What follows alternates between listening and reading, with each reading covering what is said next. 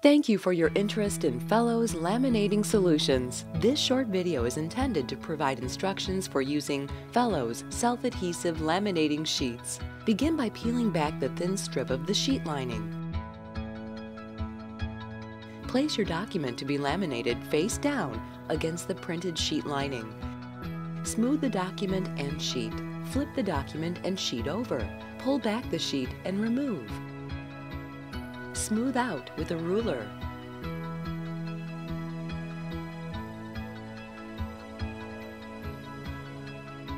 Trim to fit. Thanks for using Fellowes self-adhesive sheets.